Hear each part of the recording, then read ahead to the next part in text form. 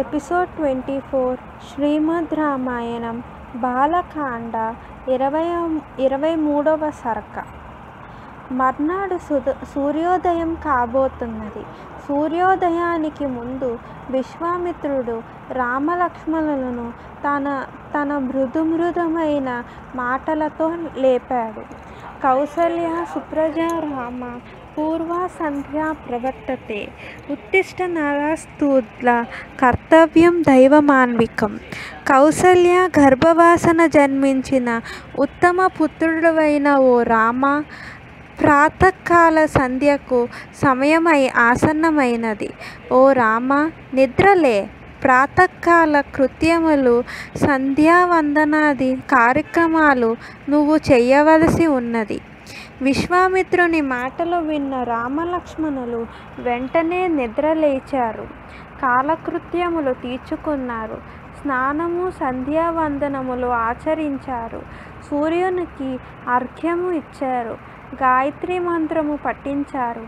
తర్వాత ముగ్గురు తమ ప్రయాణము కొనసాగించారు. వారు సరయూ నది గంగా నదిలో కలిసే సంగమ స్థానము చేరుకున్నారు.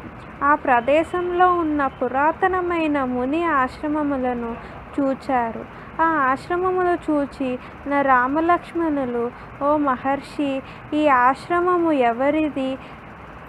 ఈ ఆశ్రమంలో ఎవరుంటారు అని అని అడిగారు. దానికి విశ్వామిత్రుడు ఇలా సమాధానం ఇచ్చాడు. ఓ రామ ప్రస్తుతం మన్మధుడు దేహము లేకుండా అనంగుడిగా ఉన్నాడు. కానీ పూర్వము మన్మధుడు దేహం కలవాడు. మన్మధునికి కాముడు అను పేరు. పూర్వము శివుడు ఈ ప్రదేశంలో తపస్సు చేసుకునేవాడు.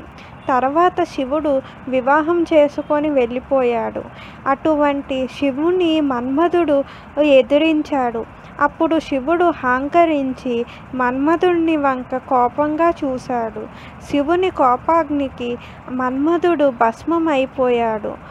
మన్మధుడు శరీరం అవయవములు అన్నీ అన్ని చోట్ల చెల్లా చెదురగా పడిపోయాయి. అప్పుడు మన్మధుడు శరీరం లేనివాడయ్యాడు.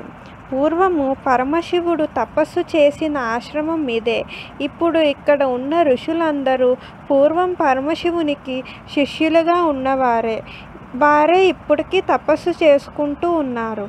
వీరు ధర్మపరులు. వీరికి పాపం అంటే ఏమిటో తెలియదు మనము ఈ రాత్రికి ఇక్కడే ఉండి రేపు ఉదయము మనం ప్రయాణము కొనసాగిద్దాము. మనం ఇప్పుడు స్నానం సంధ్య ఆచరించి శుచులై ఈ ఆశ్రమంలోకి ప్రవేశిద్దాము అని అన్నాడు విశ్వామిత్రుడు.